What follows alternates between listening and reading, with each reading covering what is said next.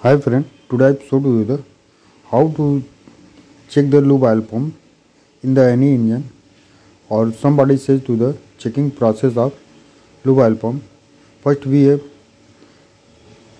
complete the engine up to the piston and after that we have cranking the engine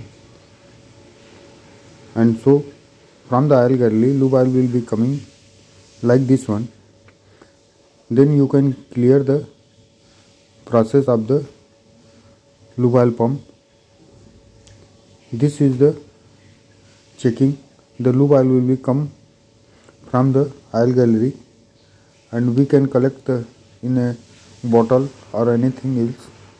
So this is the process for the checking the lube oil pump in the any engine. Till date if you are not subscribed my channel please subscribe my channel and press the bell icon.